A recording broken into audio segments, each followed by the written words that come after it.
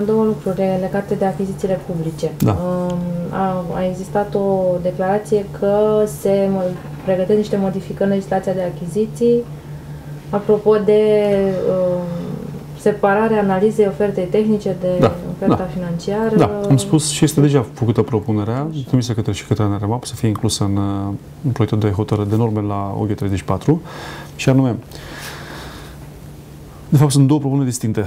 Sunt mai multe, dar referitor la ce ați întrebat, sunt două chestiuni distincte și anume, odată, întâi se analizează oferta tehnică, fără a ști care este bugetul, pentru că de multe ori membrii Comisiei de Valoare sunt influențați, fără să vrea, de, de faptul că o ofertă este una e foarte mică și poate le teamă să, să în cazul în care nu respecte așa de departe regulile jocului, le teamă să le să elimine, de, că cineva va veni și va întreba de vorbă bună.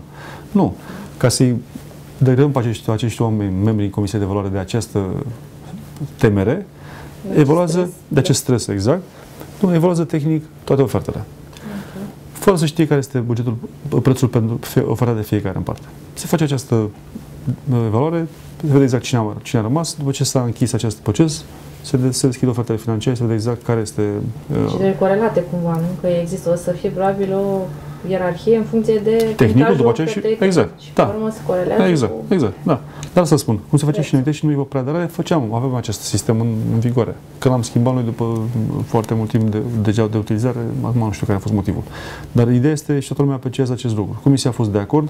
Mai mult am spus că vrem să schimbăm acest, această idee cu cel mai mic preț. Păi în, în cazul în care se face așa și pe urmă se corelează punctajul de la oferta tehnică, să spunem, trebuie să facă o medie, nu? Cu, nu, adică să nu mai cu spunem... prețul. Cu nu, dar chiar și aici. Nu, chiar și aici. Dacă las decât prima etapă în felul acesta așa. și nu și las mai departe criteriul cel mai, prețul cel mai mic, tot nu este, e decât pe jumătate rezolvată. Păi exact, că tot prețul. Exact, dar va fi tehnico-economic. Da? Și ponderea da. va, mai mare va fi către tehnic și nu către financiar cum e normal să fie.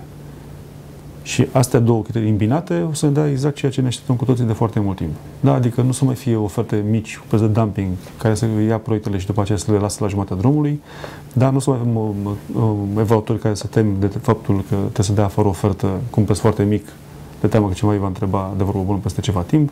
Deci va fi o, o astfel de abordare. Este pus deja ca proiect de hotărâre de guvern.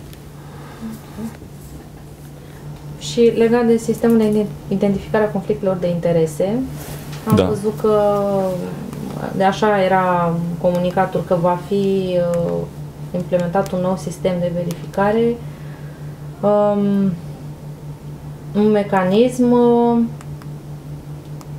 care va fi uh, implementat de UCEVA, din câte înțeleg. Da, și sistemul actual încă o dată. Această chestiune, acest subiect al conflictului de interes este unul foarte sensibil. Este cel care Altul de achiziții publice ne-a creat multe probleme și colecții financiare, pe măsură. Este un subiect studiat de Comisia Europeană de un an și ceva. Acum l-am închis acest subiect, l-am definitivat, inclusiv săptămâna aceasta, miercuri în guvern, am aprobat o hotărâre de guvern pentru a modifica normele la UG 34, cu ce am adus nou în discuția Comisiei Europeană. A fost un consens la nivel național. Anii CNSC, UCEVAP, ANRMAP, autoritatea de audit. Deci toți factorii implicați pe tot ce înseamnă uh, conflict de interes, să spun, da? Este și un memorandum semnat de toți aceste, aceste, tot, toate aceste entități, Asta cum am spus și Ani. Săptămâna trecută, da, și acum săptămâna în guvern a fost aprobată hotărârea de guvern.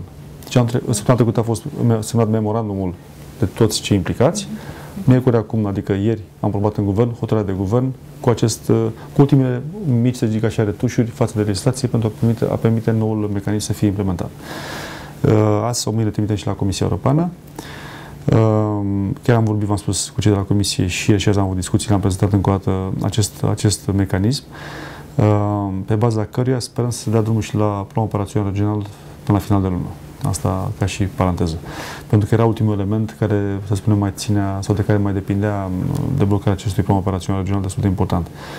Deci acest nou mecanism este, este implementat pe actualul cadru, adică UCEVAP, acest UCEVAP, această unitate centrală de, de, de, de, de evaluare a achizițiilor publice, um, de la Ministerul de Finanțe, ca observator în, în anumite proceduri, va urmări, va încerca să prevină, va preveni tot ce înseamnă conflict de interese. Se va, uh, să zic așa, se va folosi baza date de la ONRC, de la, DG, de la uh, Ministerul de Interne pentru a identifica eventualele legături între personalul de decizie sau membrii evaluatori și firmele care depun oferte.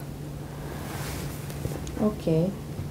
Uh, era un... Uh, știu că a fost aprobat de curând da. un uh, memorandum sau hotărâre de nu știu exact, oricum a fost aprobat de guvern, um, ceva asemănător care trebuia să fie implementat de Agenția Națională de Integritate sau da, sunt două chestiuni diferite. combinate sau... Exact.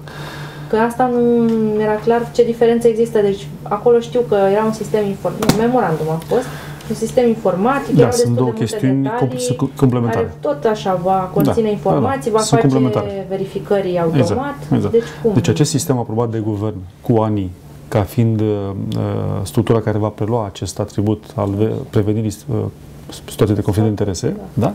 este un mecanism complementar la cel pe care, de care am vorbit mai devreme. În sensul că uh, el, la el se lucrează da? pentru a fi definitivat sistemul informatic, pentru a fi tot, toate elementele astea definitivate și de da, Comisia Europeană. de o aplicație complexă exact, acolo, da? da. În momentul când ele va fi gata, actualul sistem încetează, urmând ca noul sistem să fie aplicat pentru tot ce înseamnă... Deci acesta de care am vorbit până acum ar fi o etapă intermediară. Exact, exact. Până, și până ceea când ce... o să fie dezvoltat exact, sistemul... Exact, da. Deci el se, se completează reciproc, nu se elimină una pe alta decât a doua pe prima.